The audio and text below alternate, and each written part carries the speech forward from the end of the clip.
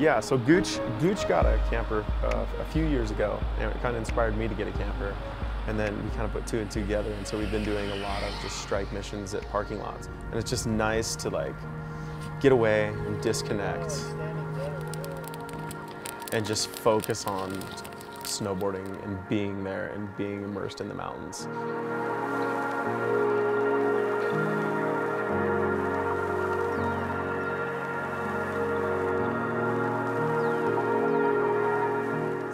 Wake up, get on the sled, and just go out. And I, I really feel that it, it ups the productivity for us for sure. And it's just great to be around starting fires and doing man shit, you know?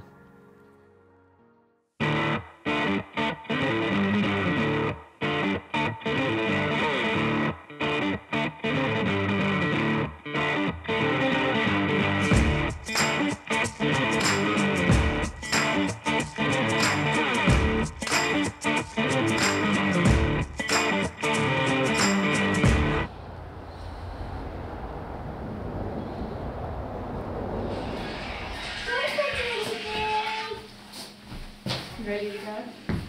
No. No, I want it. Sai, have a good. Dad. Bye, Sai. All right, we'll see you guys in just a little bit. Whoa! Wait, I just- Whoa! That was good one.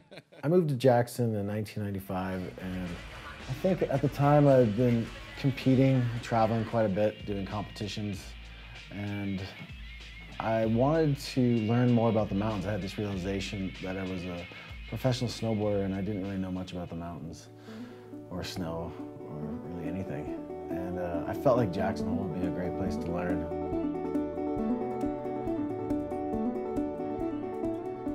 How did you meet Mark? Um, we met through the snowboard community here. And we really like to ride in the same style. We like red lines. We still like to do freestyle. You know, uh, don't really like to build big jumps. it's perfect.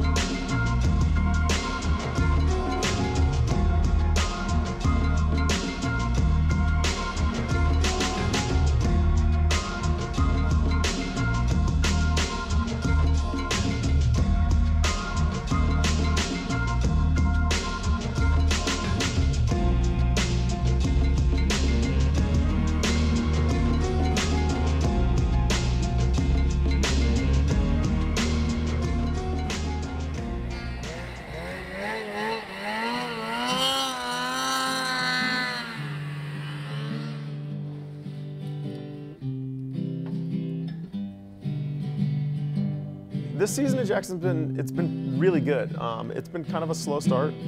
We had some interesting weather early and some kind of bad conditions in the backcountry as far as some deep persistent slabs and stuff. So we've just kind of been tiptoeing around, but it's starting to ramp up and the snow's all time and um, it's just kind of like you have to be patient with Mother Nature and she she kind of opens up and and lets you have what she'll give you.